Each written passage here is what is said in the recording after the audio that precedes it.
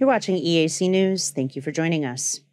At the invitation of the King of Saudi Arabia, Cambodian Prime Minister Hun Manet led a high level delegation to the inaugural ASEAN Gulf Cooperation Council Summit in Riyadh on Friday.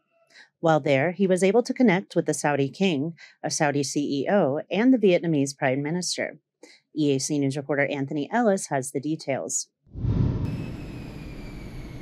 According to the press release from the Ministry of Foreign Affairs on the conference, Prime Minister Hun Manet emphasised the importance role of trade and investment in fostering economic growth and sustainability.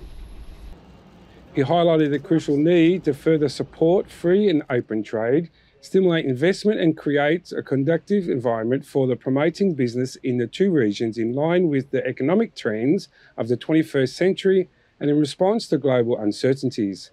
He urged the GCC and the ASEAN leaders to explore new sources of growth in key areas such as connectivity, digital economy, green energy transaction, banking and finance, regional supply chains, and artificial intelligence.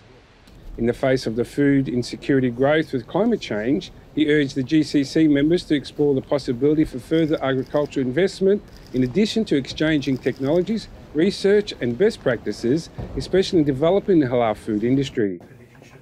The Cambodian Prime Minister also expressed concern and regret over the escalating violence in the Middle East, saying that GCC members are in a unique position to broker a peaceful solution to the violence, which has already taken the life of the Cambodian veterinary student.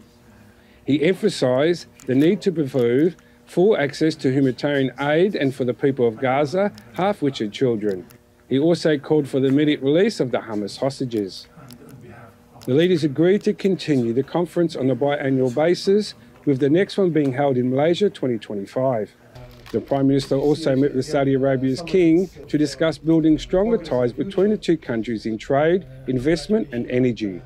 They agree that the Saudi embassy will be open in Cambodia, complete with visa exemptions for diplomats and officials. Anthony Ellis, EAC News.